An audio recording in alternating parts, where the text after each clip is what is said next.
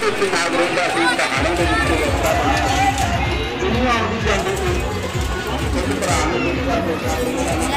जब दूसरा टाइम आ गया लेंगे फुल लेंगे